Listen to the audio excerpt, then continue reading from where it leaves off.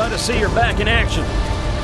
Now we just need to rendezvous with our platoons in the city, and we're clear to take the palace.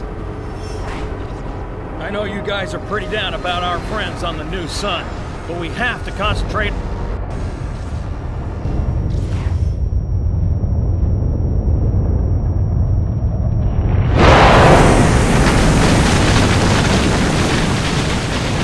Now that is what I call firepower. Shame it ain't ours. Anyway, glad you could join us, Private. Now, myself and the proud soldiers from Effects and Engineering will show you just how to recreate a monster firecracker like the one behind me. All right, let's get started. We start out with stock footage of a real nuclear detonation. And since we are also not living in the 50s anymore, we need to add some color to this thing and isolate it from that ugly desert backdrop. Our engineers then track the cloud's motion in three dimensional space so we can use it later to deform our shaders. Now, what in the hell do we need shaders for? Well, our current mushroom cloud still consists of 1,300 individual frames, and throwing this at our game engine would seriously slow down operations. And I can't stand slow operations!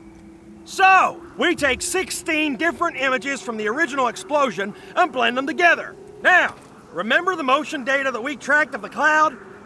We now apply that to the shaders to also deform them and create the illusion of a growing mushroom cloud. Now, like a trailer park girl on prom night, we need to dress our nuclear explosion up a bit. Let's start by adding some bloom effects and particles. Here we go. Although the effects are in, the scene still looks like it was lit like a bad sci fi movie, so let's add some lights to this thing.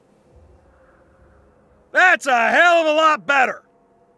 Now, what happens when you detonate a nuke in a wasteland? Yep, you'd whip up a pretty violent dust storm.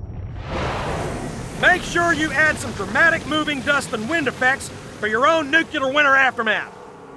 And always color correct your scene, soldier! We wouldn't want it to look like one of them god awful children's games now, would we? And there you have it, gentlemen. That is how we create a nuclear detonation at guerrilla headquarters. Now get the hell out of here and start cleaning out those latrines! Let's go, ladies! On the double!